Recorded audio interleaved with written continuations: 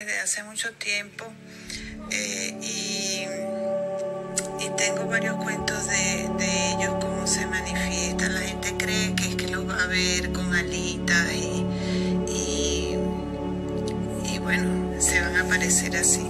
Sí, algunas veces aparecen como luz, como eh, una presencia este, es maravillosa, llena de luz paz y de todo eso, sobre todo a los niños. A mi hija se le presentó cuando yo tenía como cuatro años, estando en su cuarto y, y ella dice que se despertó y vio una gran luz en la ventana, que ella pensaba que el sol se iba a meter por la ventana y entonces Les recomiendo una película, gracias por tu testimonio. Dice al final del mensaje que esa luz pensó que se le iba a meter por la ventana y era un gran ángel y la niña le dijo eso.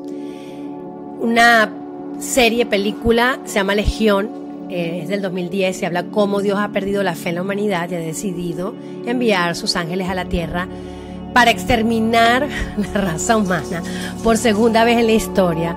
Es una, es una película un poco como que wow, la vi en varias partes, pero al final, por supuesto, los ángeles eh, convencen a Dios de que nosotros somos, eh, somos worth it, es decir, que todavía valemos la pena como humanidad. Esta me encantó.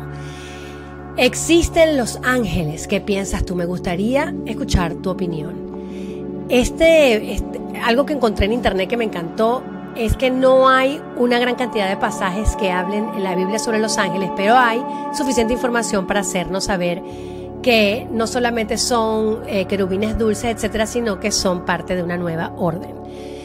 Los diversos intentos de poder explicar a los ángeles eh, son diversos y de una u otra manera puedes encontrar en YouTube, en muchos lados, ya gente que te habla sobre eso.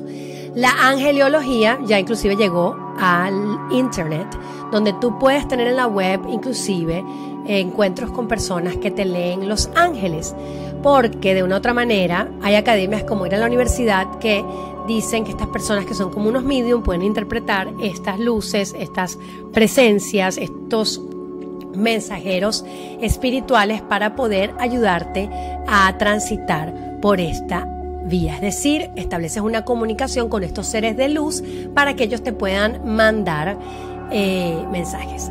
Existen ángeles, arcángeles, querubines, virtudes y rangos celestiales. Es decir, que hasta el cielo parece ser que tiene un orden. Los que somos desordenados somos nosotros los seres humanos. Pero en el cielo parece ser que todo es perfecto.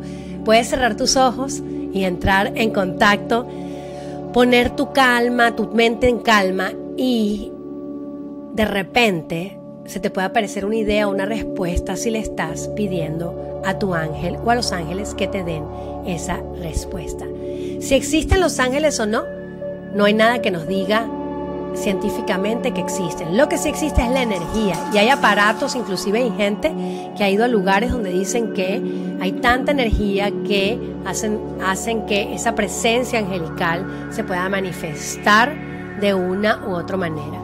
Ángeles de Dios, ¿cuál es la avanzada que viene para este planeta? ¿Vendrán de otras galaxias a anunciarnos eh, acontecimientos, a salvarnos o a decirnos que no tenemos salvación? Sea lo que sea, pues aquí estoy yo en este podcast para que podamos hablar de estos temas. Nos vemos en el próximo episodio. Espero te encante este tema como a mí. Nos vemos en una nueva edición. Por favor, suscríbete, comenta, comparte. Si lo estás escuchando, pues suscríbete también al podcast. Si lo estás viendo en video, dime qué te parece también. Y nos vemos en el próximo episodio.